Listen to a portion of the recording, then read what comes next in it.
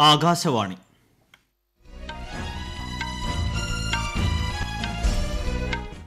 നമസ്കാരം. വാർത്തകൾ വായിക്കുന്നത് സുരേഷ്.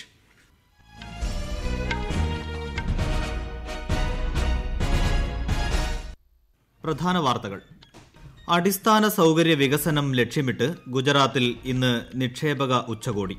പ്രധാനമന്ത്രി നരേന്ദ്രമോദി ഉദ്ഘാടനം ചെയ്യും. ആസാദി കാ അമൃത് മഹോത്സവത്തിന്റെ വിവിധ പരിപാടികൾക്ക് ഇന്ന് രാജ്യരക്ഷാമന്ത്രി രാജ്നാഥ് സിംഗ് തുടക്കമിടും. അഫ്ഗാനിലെ കൂടുതൽ പ്രവിശ്യകൾ പിടിച്ചടക്കി താലിബാൻ. ആശങ്ക പ്രകടിപ്പിച്ച് ഇന്ത്യ. രാജ്യത്ത് കോവിഡ് രോഗമുക്തി നിരക്ക് തൊണ്ണൂറ്റിയേഴ് ദശാംശം നാല് അഞ്ച് ശതമാനമായി ഉയർന്നു. കേരളത്തിൽ ഇന്നലെ ഇരുപതിനായിരത്തി എഴുന്നൂറ്റി ഇരുപത്തിമൂന്ന് പേർ രോഗമുക്തരായി. ഇംഗ്ലണ്ടിനെതിരായ ടെസ്റ്റ് ക്രിക്കറ്റിൽ ഇന്ത്യയ്ക്ക് മികച്ച തുടക്കം. ആദ്യ ദിനം കളി അവസാനിക്കുമ്പോൾ ഇരുന്നൂറ്റി എഴുപത്തിയാറ് റൺസ് എടുത്ത് ഇന്ത്യ. വാർത്തകൾ വിശദമായി. ഗുജറാത്തിൽ നടക്കുന്ന നിക്ഷേപക ഉച്ചകോടിയെ പ്രധാനമന്ത്രി നരേന്ദ്രമോദി ഇന്ന് രാവിലെ പതിനൊന്ന് മണിക്ക് വീഡിയോ കോൺഫറൻസിംഗ് വഴി അഭിസംബോധന ചെയ്യും. Voluntary vehicle fleet modernisation programme അഥവാ വാഹനം പൊളിക്കൽ നയത്തിന് കീഴിൽ അടിസ്ഥാന സൌകര്യ നിക്ഷേപം ക്ഷണിക്കുന്നതിനാണ് ഉച്ചകോടി. സ്ക്രാപ്പിംഗ് ഹബ് വികസിപ്പിക്കുന്നതിന് അല്ലെങ്കിലെ കപ്പൽ പൊളിക്കൽ വ്യവസായം അവതരിപ്പിച്ച ആശയത്തിലും ഉച്ചകോടി ശ്രദ്ധ കേന്ദ്രീകരിക്കും. കേന്ദ്ര ഉപരിതല ഗതാഗത മന്ത്രാലയവും ഗുജറാത്ത് സർക്കാരും ചേർന്നാണ് ഉച്ചകോടി സംഘടിപ്പിക്കുന്നത്. നിക്ഷേപകർ വ്യവസായികൾ കേന്ദ്ര സംസ്ഥാന മന്ത്രാലയങ്ങൾ പങ്കാളിത്തം വഹിക്കുന്ന ഉച്ചകോടിയിൽ കേന്ദ്രമന്ത്രി നിതിൻ ഗഡ്കരി ഗുജറാത്ത് മുഖ്യമന്ത്രി വിജയ് രൂപാനി എന്നിവരും പങ്കെടുക്കും. പരിസ്ഥിതി മലിനീകരണം ഉണ്ടാക്കുന്ന വാഹനങ്ങൾ ഘട്ടം ഘട്ടമായി ഇല്ലാതാക്കുകയാണ് വെഹിക്കിൾ സ്ക്രാപ്പിംഗ് പോളിസി ലക്ഷ്യമാക്കുന്നത്. രാജ്യം സ്വാതന്ത്ര്യത്തിന്റെ എഴുപത്തി അഞ്ചാം വാർഷികം ആഘോഷിക്കുന്ന ആസാദി കാ അമൃത മഹോത്സവത്തിന്റെ വിവിധ പരിപാടികൾക്ക് രാജ്യരക്ഷാമന്ത്രി രാജ്നാഥ് സിംഗ് ഇന്ന് വെർച്വലായി തുടക്കം കുറിക്കും. വിവിധ സ്ഥലങ്ങളിൽ ദേശീയ പതാക ഉയർത്തൽ പ്രതിമകൾ വൃത്തിയാക്കൽ വിമുക്ത ഭടന്മാർക്കായുള്ള ജൻസമ്പർക്ക് അഭിയാൻ തുടങ്ങിയവയാണ് പ്രധാന പരിപാടികൾ. ബോർഡർ റോഡ്സ് ഓർഗനൈസേഷൻ രാജ്യത്തെ എഴുപത്തിയഞ്ച് പ്രധാന പാതകളിലും സ്ഥലങ്ങളിലും ദേശീയ പതാക ഉയർത്തും. കിഴക്കൻ ലഡാക്കിൽ പത്തൊൻപതിനായിരത്തി മുന്നൂറ് അടി ഉയരമുള്ള ലോകത്തിലെ ഏറ്റവും ഉയരം കൂടിയ പാതയായ ഉല്ലിംഗ്ല പാസിലും വടക്ക് കിഴക്കൻ മേഖലയിലെ അടൽ ടണൽ റോത്താങ് ധോല സദിയ പാലം തുടങ്ങിയ പ്രധാന സ്ഥലങ്ങളിലും ദേശീയ പതാക ഉയർത്തും. സ്വാതന്ത്ര്യത്തിന്റെ എഴുപത്തിയഞ്ചാം വാർഷികത്തോടനുബന്ധിച്ച് ആസാദി കാ അമൃത മഹോത്സവത്തിന്റെ ഭാഗമായി സംഘടിപ്പിക്കുന്ന ഫിറ്റ് ഇന്ത്യ ഫ്രീഡം റൺ രണ്ടാം പതിപ്പിൽ ജനങ്ങൾ സജീവമായി പങ്കെടുക്കണമെന്ന് കേന്ദ്ര കായിക മന്ത്രി അനുരാഗ് താക്കൂർ. ഇന്നു മുതൽ ഒക്ടോബർ രണ്ട് വരെ നീണ്ടുനിൽക്കുന്ന ഫിറ്റ് ഇന്ത്യ ഫ്രീഡം റണ്ണിൽ എവിടെ നിന്നും ഏതു സമയത്തും ജനങ്ങൾക്ക് പങ്കാളികളാകാമെന്ന് മന്ത്രി പറഞ്ഞു. അമിതവണ്ണം അലസത സമ്മർദ്ദം ആശങ്ക മറ്റു രോഗങ്ങൾ എന്നിവയിൽ നിന്ന് ഒഴിവാക്കുക എന്ന ലക്ഷ്യത്തോടെയാണ് ഫ്രീ റൺ സംഘടിപ്പിക്കുന്നത്. ക്വാഡ് രാഷ്ട്രങ്ങളിൽ ഉൾപ്പെട്ട വിദേശകാര്യ മന്ത്രാലയങ്ങളിലെ ഉദ്യോഗസ്ഥർ ഇന്നലെ വെർച്വലായി കൂടിക്കാഴ്ച നടത്തി. ഇന്ത്യൻ വിദേശകാര്യ മന്ത്രാലയം ഓസ്ട്രേലിയൻ വിദേശകാര്യ വാണിജ്യ വകുപ്പ് ജപ്പാൻ വിദേശകാര്യ മന്ത്രാലയം യു എസ് വിദേശകാര്യ മന്ത്രാലയം എന്നിവയിലെ മുതിർന്ന ഉദ്യോഗസ്ഥരാണ് ഇന്നലെ വീഡിയോ കോൺഫറൻസിംഗിലൂടെ കൂടിക്കാഴ്ച നടത്തിയത്. ഇന്തോ പസഫിക് മേഖലയിൽ കോവിഡിന്റെ പ്രത്യാഘാതങ്ങളെക്കുറിച്ചും പകർച്ചവ്യാധി തടയുന്നതിനും ആരോഗ്യ സുരക്ഷയും ദ്രുതഗതിയിലുള്ള സാമ്പത്തിക വളർച്ച ഉറപ്പാക്കാനുള്ള യോജിച്ച ശ്രമങ്ങളെക്കുറിച്ചും അഭിപ്രായങ്ങൾ കൈമാറാൻ കൂടിക്കാഴ്ച അവസരമൊരുക്കി. ക്വാഡ് രാഷ്ട്രങ്ങളുടെ വാക്സിൻ സംരംഭത്തിന്റെ പുരോഗതിയും ഉദ്യോഗസ്ഥർ അവലോകനം ചെയ്തു. പ്രതിരോധ വിതരണ ശൃംഖല സാങ്കേതികവിദ്യ സമുദ്ര സുരക്ഷ സൈബർ സുരക്ഷ തീവ്രവാദം തടയൽ തുടങ്ങിയ വിഷയങ്ങളും ചർച്ചയായി. രാജ്യത്തെ കോവിഡ് പ്രതിരോധ കുത്തിവയ്പ് അൻപത്തിരണ്ട് കോടി എൺപത്തി ഒൻപത് ലക്ഷം ഡോസ് കവിഞ്ഞു. ഇതുവരെ നാൽപ്പത്തിയൊന്ന് കോടിയിലധികം ആദ്യ ഡോസും പതിനൊന്ന് കോടിയിലധികം രണ്ടാം ഡോസും നൽകിയതായി കേന്ദ്ര ആരോഗ്യ മന്ത്രാലയം അറിയിച്ചു. ഇന്നലെ മാത്രം അൻപത് ലക്ഷത്തിലധികം ഡോസുകളാണ് നൽകിയതെന്ന് മന്ത്രാലയം അറിയിച്ചു.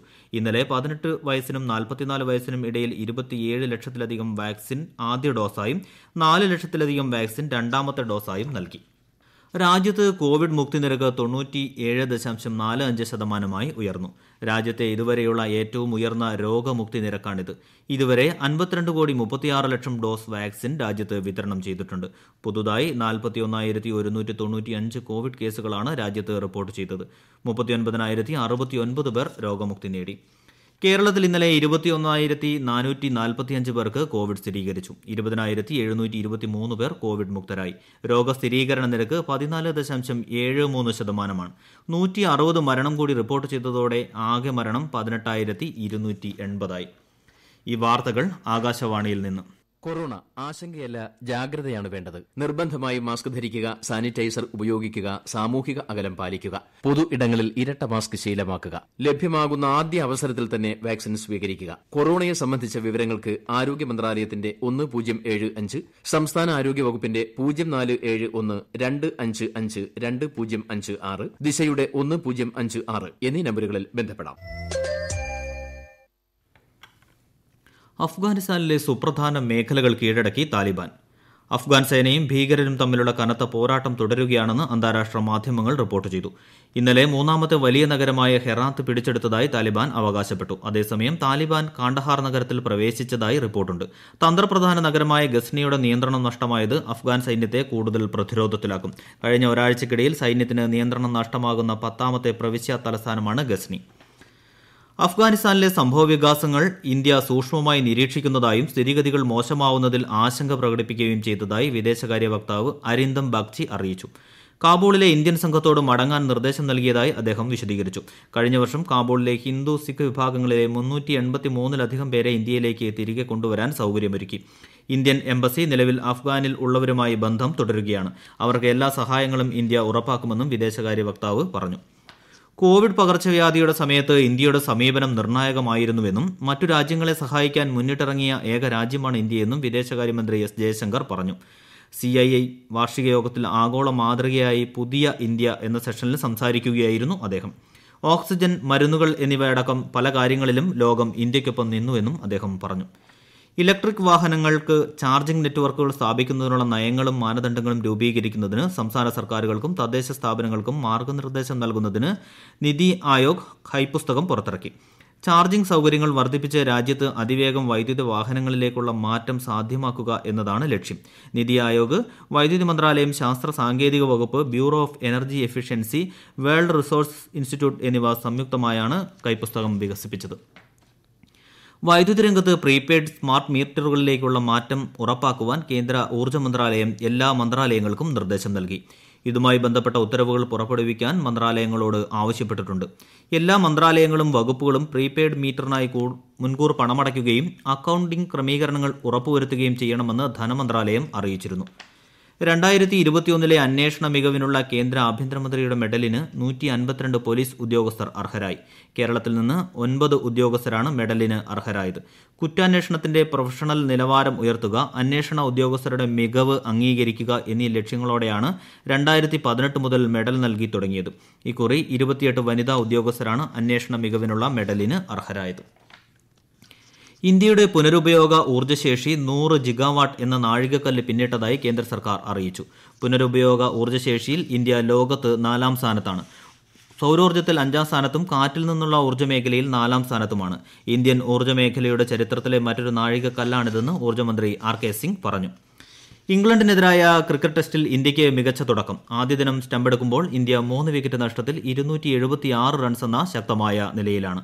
ഓപ്പണർ കെ എൽ രാഹുലിന്റെ സെഞ്ചുറിയുടെയും രോഹിത് ശർമ്മയുടെ അർദ്ധ സെഞ്ചുറിയുടെയും മികവിലാണ് ഇംഗ്ലണ്ടിനെതിരായ ലോർഡ്സ് ക്രിക്കറ്റ് ടെസ്റ്റിൽ മികച്ച സ്കോർ നേടിയത്. ഉൽപാദനക്ഷമത ഗുണനിലവാരം പുതുമ എന്നിവയുടെ പതാകവാഹകരായി ബ്രാൻഡ് ഇന്ത്യയെ മാറ്റുക എന്നതാണ് സർക്കാരിന്റെ ലക്ഷ്യമെന്ന് സി ഐ ഐ വാർഷിക ഉച്ചകോടിയെ അഭിസംബോധന ചെയ്തുകൊണ്ട് വാണിജ്യ വ്യവസായ മന്ത്രി പീയൂഷ് ഗോയൽ പറഞ്ഞു. ജമ്മു കാശ്മീരിൽ രജൌലി ജില്ലയിലെ ഖണ്ഡലി പ്രദേശത്ത് ബി ജെ പി നേതാവ് ജസ്ബീർ സിംഗിന്റെ വീടിന് നേരെ നടന്ന ഗ്രനേഡ് ആക്രമണത്തിൽ അഞ്ചു പേർക്ക് പരിക്കേറ്റു. അജ്ഞാതരാണ് ഗ്രനേഡ് ആക്രമണം നടത്തിയതെന്ന് Jammu A D G P സ്ഥിരീകരിച്ചു. കേരളത്തിലെ കോവിഡ് പ്രതിരോധത്തിനും മൈക്രോ കണ്ടെയ്ൻമെന്റ് മേഖലകൾ നിർവചിക്കുന്നതിനും നിയന്ത്രണങ്ങൾ ഏർപ്പെടുത്തുന്നതിനുമുള്ള മാർഗനിർദ്ദേശങ്ങൾ സംസ്ഥാന സർക്കാർ പുറപ്പെടുവിച്ചു. പ്രധാന വാർത്തകൾ ഒരിക്കൽ കൂടി. അടിസ്ഥാന സൌകര്യ വികസനം ലക്ഷ്യമിട്ട് ഗുജറാത്തിൽ ഇന്ന് നിക്ഷേപക ഉച്ചകോടി. പ്രധാനമന്ത്രി നരേന്ദ്രമോദി ഉദ്ഘാടനം ചെയ്യും. ആസാദി കാ അമൃത് മഹോത്സവത്തിന്റെ വിവിധ പരിപാടികൾക്ക് ഇന്ന് രാജ്യരക്ഷാമന്ത്രി രാജ്നാഥ് സിംഗ് തുടക്കമിടും. അഫ്ഗാനിലെ കൂടുതൽ പ്രവിശ്യകൾ കീഴടക്കി താലിബാൻ ആശങ്ക പ്രകടിപ്പിച്ച് ഇന്ത്യ. രാജ്യത്ത് കോവിഡ് രോഗമുക്തി നിരക്ക് തൊണ്ണൂറ്റിയേഴ് ദശാംശം നാല് അഞ്ച് ശതമാനമായി ഉയർന്നു. കേരളത്തിൽ ഇന്നലെ ഇരുപതിനായിരത്തി എഴുന്നൂറ്റി ഇരുപത്തിമൂന്ന് പേർ രോഗമുക്തരായി. ഇംഗ്ലണ്ടിനെതിരായ ക്രിക്കറ്റ് ടെസ്റ്റിൽ ഇന്ത്യയ്ക്ക് മികച്ച തുടക്കം. ആദ്യ ദിനം കളി അവസാനിക്കുമ്പോൾ ഇരുന്നൂറ്റി എഴുപത്തിയാറ് റൺസ് എടുത്ത് ഇന്ത്യ. വാർത്തകൾ കഴിഞ്ഞു. ആകാശവാണി വാർത്തകളും വാർത്താധിഷ്ഠിത പരിപാടികളും All India Radio News Thiruvananthapuram എന്ന യൂട്യൂബ് ചാനലിൽ ലഭ്യമാണ്. കൂടുതൽ വാർത്തകൾക്കായി at All India Radio News Thiruvananthapuram എന്ന ഫേസ്ബുക്ക് പേജും at A R news underscore T V M എന്ന ട്വിറ്റർ ഹാൻഡിലും സന്ദർശിക്കാം. അടുത്ത വാർത്താ പ്രക്ഷേപണം പത്ത് പതിനഞ്ചിന്.